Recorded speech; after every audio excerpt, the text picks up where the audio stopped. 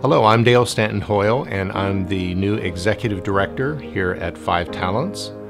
I'm excited to be part of this organization and very proud of what Five Talents accomplishes around the world.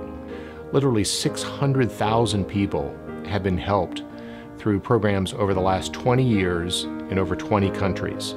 One of the most powerful things about the Five Talents model is that people graduate from our programs. We're not creating systems of dependency.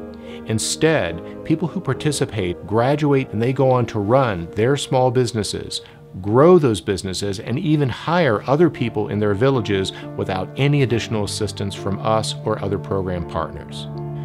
So why should we care that people are becoming new businessmen and women? It makes a huge difference.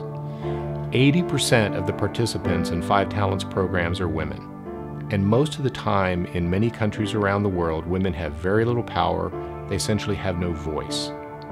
When they develop their own tiny businesses, it enables them to begin to make a few dollars that raises their esteem within the entire community. It allows them to provide greater health care for their kids. It allows for their kids to go to school.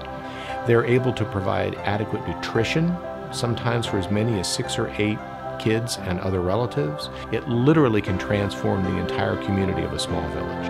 And when you walk with five talents, we have the opportunity to accomplish great things together.